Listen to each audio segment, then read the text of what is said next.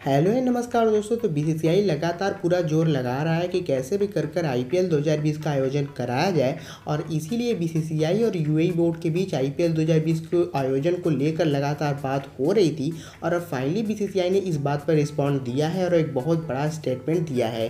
और बीसीसीआई के इस स्टेटमेंट से एक बात बिल्कुल क्लियर हो जाता है कि आई पी का आयोजन यू में होगा या नहीं।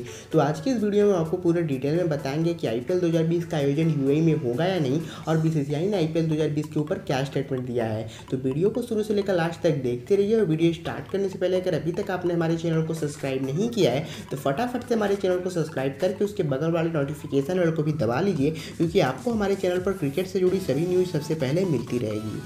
तो दोस्तों बीसीसीआई पूरा ज़ोर लगा रहा है कि कैसे भी कर कर आईपीएल 2020 को इंडिया में कराया जाए, लेकिन गाइज़ आईपीएल 2020 का आयोजन इंडिया में हो पाना अब लगभग असंभव हो गया है। क्योंकि गाइज़ इंडिया में कोविड नाइन्टीन लगातार तेज़ी के साथ फैल रहा है और अभी लेटेस्ट रिपोर्ट के हिसाब से इंडिया में कोविड नाइन्टीन के तिरसठ हज़ार से ज़्यादा केसेस सामने आ चुके हैं।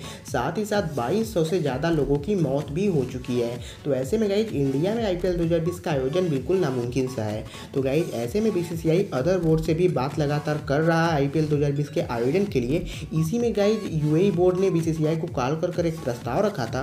दरअसल दोस्तों यूएई बोर्ड ने बीसीसीआई को कॉल कर कर उनको ऑफ़र दिया था कि अगर आप चाहो तो आप सितंबर के विंडो में आईपीएल 2020 का आयोजन यूएई में करा सकते हो। और गाइज़ आपको बता दें कि एशिया कप का भी आयोजन यूएई में होने वाला है सितंबर में। गाइज़ ऐसे में यहाँ पर ऑफ़र दिया था यूएई बोर्ड ने बीसीसीआई को कि अगर आप चाहो तो एशिया कप से ठीक पहले आप यूएई में आईपीएल 2020 का आयोजन करा सकते हो। उसके बाद आप एशिया कप खेलिए। लिए उसके बाद आप डायरेक्ट यू से ही ऑस्ट्रेलिया की फ़्लाइट पकड़कर आप वर्ल्ड टी खेलने चले जाइए। मतलब बिल्कुल क्लियर प्लान था कि सितंबर का विंडो में आप आईपीएल 2020 का आयोजन यू में करा सकते हो। और ज़्यादा ज़्यादा जो एक्सेप्टेड डेट था आई पी के स्टार्टिंग डेट को लेकर, वो था एक सेप्टेम्बर तो गाइज़ यहाँ पर मिनी आईपीएल आपको देखने को मिलने वाला था यू में। यहाँ पर ऐसा कुछ यहाँ पर प्रस्ताव रखा था यू बोर्ड ने बी के सामने।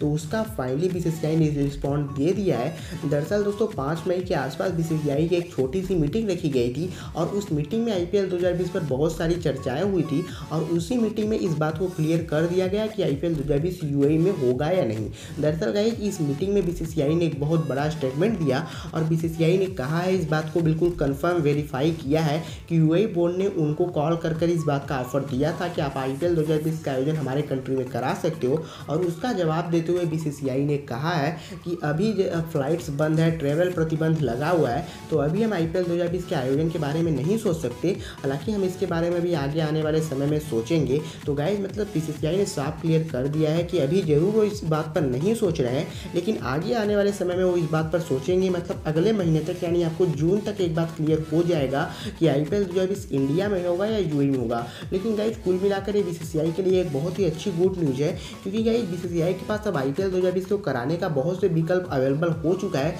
उनके पास श्रीलंका भी का भी एक अच्छा ऑप्शन मौजूद है। साथ ही साथ अब यू ने भी सामने से ऑफ़र कर दिया है। तो अब बी को सिर्फ़ सोचना है कि आई पी का आयोजन कहाँ करवाएँगे, क्योंकि भाई इंडिया में तो आई पी का आयोजन होना लगभग मुश्किल तो है। तो ऐसे में सत्रह मई को इंडिया से लॉकडाउन हटने वाला है और उसके बाद ही सत्रह मई के आसपास आपको आई पी की गवर्निंग काउंसिल देखने को मिलने वाली है और उस मीटिंग में इस बात पर डिसीज़न लिया जाएगा।